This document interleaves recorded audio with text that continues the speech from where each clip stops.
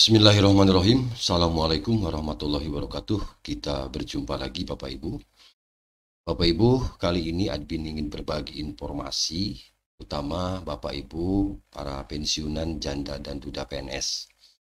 Pasca kenaikan gaji pensiun 12%, berikut gaji pensiun janda dan duda yang akan diterima di bulan Juni 2024 dari PT Taspen Bapak Ibu.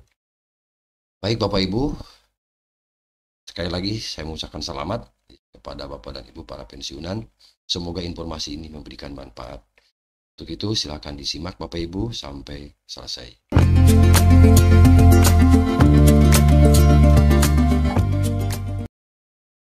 Bapak Ibu, mengapa ini ada kabar gembira? Karena memasuki di bulan Juni 2024 para pensiunan PNS memiliki alasan ya untuk bergembira tentu ya gaji pensiunan akan segera cair Bapak Ibu.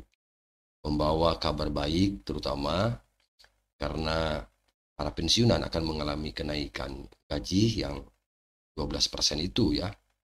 Dan ini lebih besar ya. Lebih besar pensiunan dibandingkan dengan PNS aktif.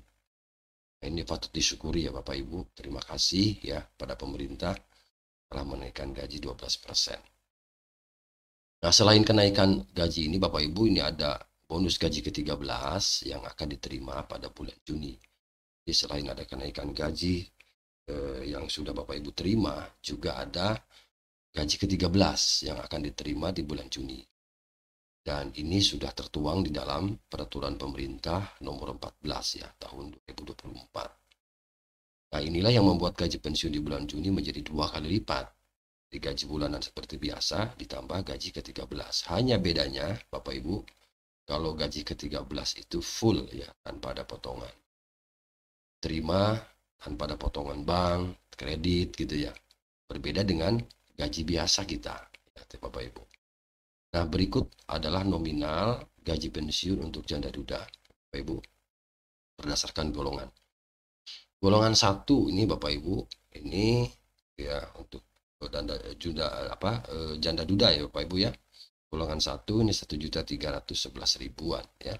Kemudian golongan dua ini dari satu juta tiga ratus sebelas ribuan sampai satu juta lima ratus empat puluh.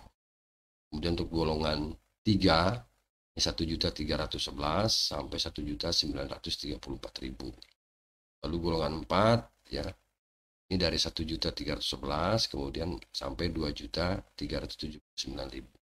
Ini tentunya Bapak Ibu janda duda disesuaikan juga dengan golongan ya, golongan terakhir pada saat pensiun itu golongan berapa. Maka ini eh, yang membedakan besaran gaji yang akan diterima. Itu ya Bapak Ibu.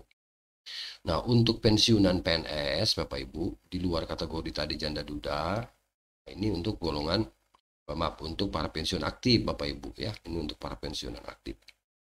Jadi berbeda tentu ya antara janda dan duda e, berbeda dengan PNS aktif. Kalau PNS PNS aktif ini jumlahnya lebih besar tentu ya Bapak Ibu.